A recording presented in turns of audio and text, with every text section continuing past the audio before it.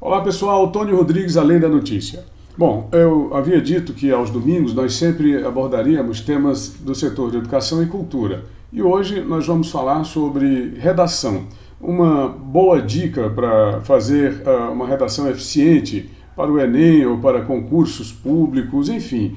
É, são as minhas dicas para uma boa redação, para uma redação clara e objetiva. Mas antes eu gostaria que você se é, é, deixasse o seu gostei, se inscrevesse no canal e ativasse as notificações no sininho, tá bom? Então, é, antes de mais nada, eu quero deixar bem claro que aqui nós iremos é, falar sobre as minhas dicas aqui do nosso canal, do canal Tony Rodrigues Além da Notícia. Por isso, é, você se concentra no que nós vamos falar aqui, objetivamente.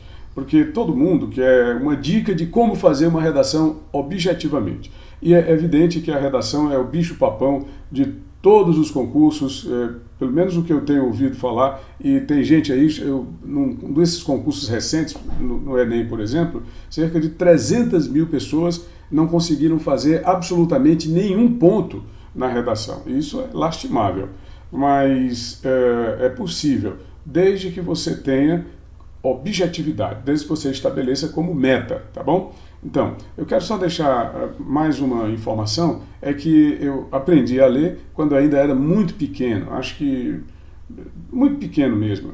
Nos meus primeiros anos eu tive um problema, não é? E fui obrigado a ficar muito tempo sem caminhar, e por causa disso eu me apeguei, né? É evidente, aos livros, às revistas e e apeguei-me principalmente à escrita por causa desse, dessa questão.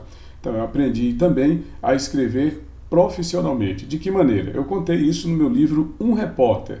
Tem um capítulo dedicado especificamente a essa questão, a essas dicas de como escrever bem e de por que, que eu me dediquei a essa escrita profissional. Porque eu vivo de escrever desde os meus primeiros anos, desde mais ou menos nove anos de idade. Então, como é que eu fazia? Minha mãe ela tinha uma pensão na Avenida Francisco Raulino, no centro de Altos. É, naquele tempo em que as obras da, Avenida BR, da, da rodovia BR-343, é, o asfaltamento, o Brasil grande, o, o, milagre brasileiro.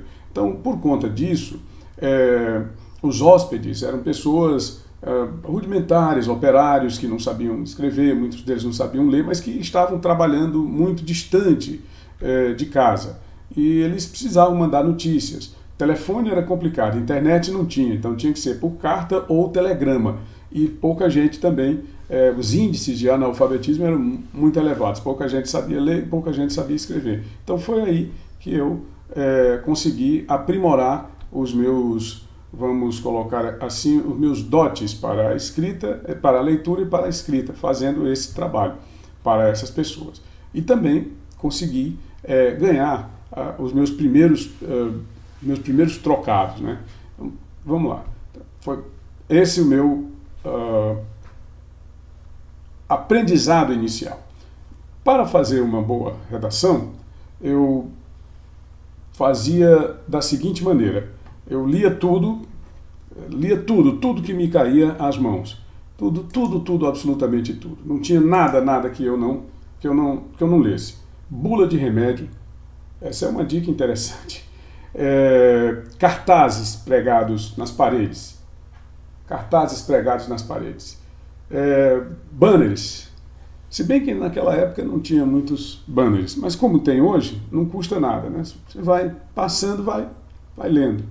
Então, primeiro de tudo é a primeira dica para quem quer aprender a escrever com eficiência é ler. E para que você uh, goste de ler, é gostar de ler é preciso que, que leia. Então, leia bula de remédio, cartazes pregados nas paredes, leia banners, leia revistas largadas em consultórios médicos. Se você vai ao médico e acha muito chato ficar esperando é, pelo atendimento, Pega lá, tem muitas revistas, às vezes até revistas antigas, mas nessas revistas antigas existem matérias que são interessantes. Então escolhe ali uma matéria interessante e vai lendo para passar o tempo. Daqui a pouco você tem aprimorado uma técnica de leitura e, evidentemente, você vai estar gostando de ler.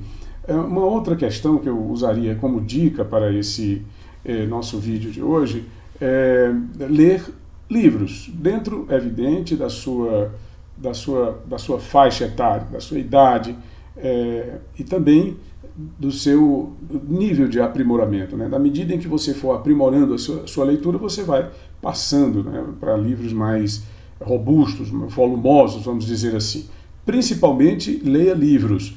É, livros são uma janela para o mundo, uma janela para a criatividade. Então, se possível, bons livros. Onde é que você encontra é, dicas para bons livros? Hoje, a internet, que, que é uma janela para o mundo, já que os livros são uma janela para a inventividade para a criatividade, ela oferece. Há muitos sites, você coloca lá nos sites de busca, de pesquisa, e eles vão te indicar para é, blogs, para sites que oferecem dicas de bons livros.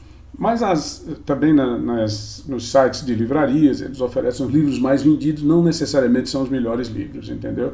Então, faça pesquisas e não se fie na palavra dos mais vendidos. Mantenha um caderno de anotações. Um caderno de anotações específico é muito interessante, porque dentro de tudo aquilo que você está lendo, é sempre interessante você observar fazer observações, fazer pequenas anotações daquelas questões que você foi é, apreendendo. Né? Observou ali uma coisa na leitura, anotou. Mantenha esse, esse pequeno caderno de anotações, ou esse pequeno bloco de anotações, para quando você tiver é, algum questionamento, ou para quando você tiver alguma observação a fazer. Sempre faça essas pequenas anotações, porque essas coisas anotadas aleatoriamente, elas vão servir é, para o seu treinamento da escrita, né? porque escrever, segundo se diz, é algo muito cansativo. Há pessoas que consideram extremamente chato escrever.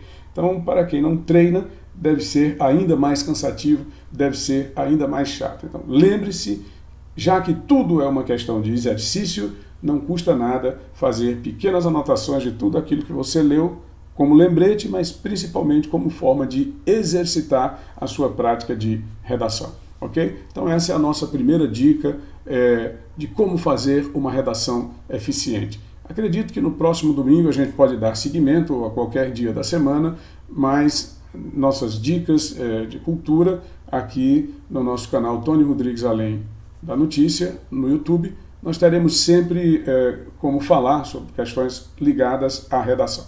Então, hoje ler tudo que lhe cair às mãos e anotar sempre que possível. Se você gostou, deixa o seu gostei, se inscreve no canal, ative as notificações no sininho. E não deixe de compartilhar e também de nos acompanhar nas demais redes sociais. É, no Facebook, Tony Rodrigues 43. No Instagram, Tony Rodrigues Além da Notícia. E lá no Twitter, Tony Rodrigues 39. A todos, muito obrigado. Grande abraço. Eu volto.